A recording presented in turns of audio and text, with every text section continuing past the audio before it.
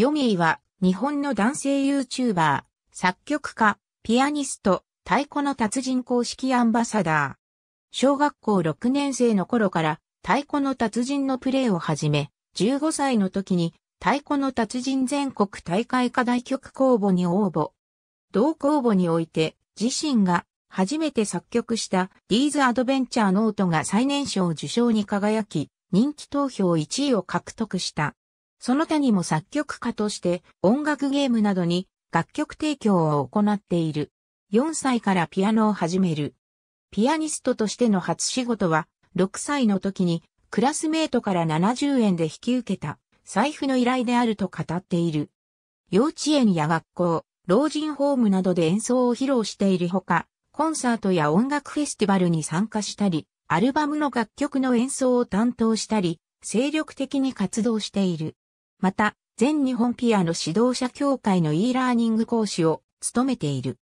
2017年10月に日本科学未来館で開催された未来のアンサンブルにて、ヤマハ社の開発した AI 合奏システムとの技術実演者に抜擢され、AI を搭載した自動演奏ピアノとの合奏を披露した。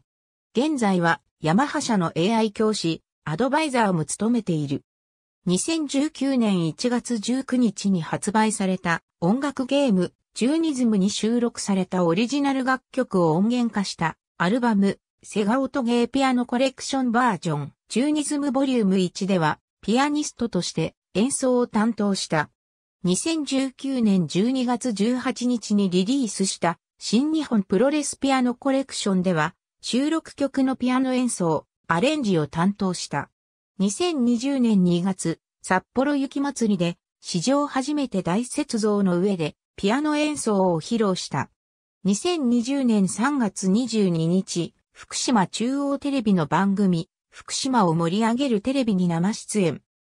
東日本大震災による津波で大きなダメージを受け、処分寸前であったところを、地元の調律師さんに修復され奇跡の復活を遂げた、ピアノ、奇跡のピアノで東日本大震災の復興支援ソング、花は咲くや、震災当時ピアノが設置されていた岩木市立、豊間中学校の卒業ソングなどの生演奏を披露した。2020年7月14日、ビルボードライブ東京にて、ワンマンライブを開催。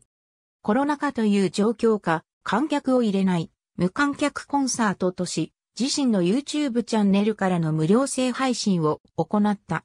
2020年12月13日、自身初の全国ツアーである、ヨミーコンサートツアー2021の開催を発表。2021年1月27日、太鼓の達人の最高難易度に収録されている曲15曲をピアノでカバーした、ヨミー太鼓の達人ピアノコレクションをリリース。2011年2月24日に YouTube チャンネルを開設。同日より動画投稿を開始し、YouTuber としての活動を開始する。2013年1月6日、サブチャンネルである、ヨミーピアノヨミーを開設。2021年9月現在、メインチャンネルとサブチャンネルのチャンネル登録者数の合計は約210万人、動画再生回数の合計は6.1億回を超えている。2020年1月、ミュージックステーションにて最も再生された動画として、ストリートピアノの連弾動画が紹介される。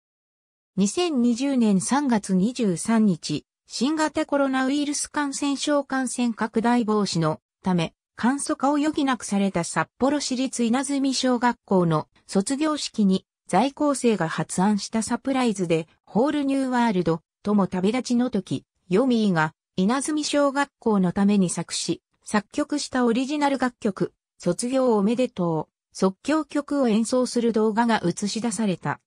2020年4月3日、演歌歌手の市川由紀乃とコラボレーションし、グレンゲと桜を市川が熱唱し、ヨミーが伴奏を担当した。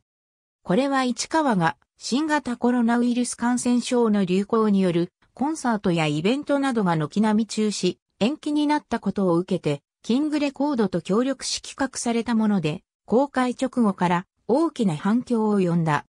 2020年5月3日、丸の内 GW ミュージックフェスティバル2022スペシャルゲストとして出演した。2021年5月27日、YouTube チャンネル、ヨミーの暇つぶしゲームズを開設。2020年9月5日より北海道、文化放送で、ヨミーと同じ札幌市出身の YouTuber ふみによる冠番組、ヨミー、ふみ TV が放送を開始。同年11月14日まで放送された。同番組で使用された楽譜の作譜も担当。2020年12月29日、スタイリストフォトグラファーからなるチーム、MKM との共同制作により、ヨミーファースト写真集431を初版全部発売。初版即完売につき、その後10版も販売した。